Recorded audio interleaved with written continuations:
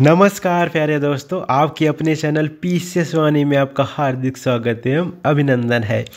दोस्तों, group D का हाल ही में जो रिज़ल्ट आए हैं, उनके लिए दोस्तों एक खुशखबरी है। उनका फ़िज़िकल जो होना है दोस्तों, उनकी डेट आनी शुरू हो गई है। ठीक है? देखिए, नोटिस आई हुई है। आइए देखते हैं। ये चेन्नई बोर्ड की दोस्तों नोटिस है। ठीक? इसमें जो फ़िज़िकल टेस्ट होना है the physical efficiency test PET for candidate short listed जो शॉर्ट लिस्ट हुए पेट के लिए दोस्तों, ठीक है? अभी जो रिज़ल्ट आए हैं ग्रुप डी के रेलवे ग्रुप डी के रिज़ल्ट आए हैं R C C Chennai will be held 19 एक 2023 ठीक?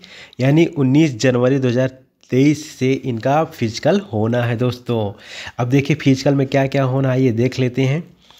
जो मेल कैंडिडेट होंगे दोस्तों, उनके लिए थर्टी फाइव के जी ठीक है, वेट लेकर के दौड़ना है एक हज़ार मीटर तक दो मिनट में दोस्तों, ठीक? और जो चार एक मतलब जो रेस होगी दोस्तों, जो चार मिनट पंद्रह सेकेंड में एक हज़ार, ठीक है, मीटर आपको दौड़ना है। यानी रेस होगी दोस्तों चार मिनट में और पंद्रह सेकेंड, चार मिनट पंद्रह सेकेंड में दोस्तों आपको एक किलोमीटर, ठीक है?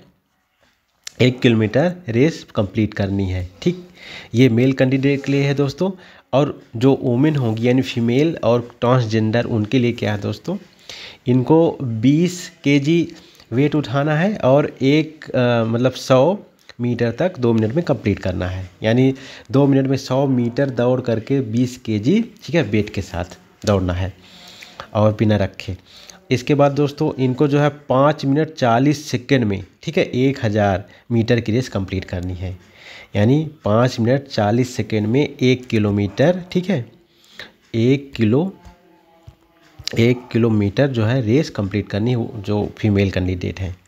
ठीक, thanks for watching this video. ऐसे ही महत्वपूर्ण अपडेट जानने के लिए, ठीक, इस चैनल को सब्सक्राइब ज़रूर कर लेना।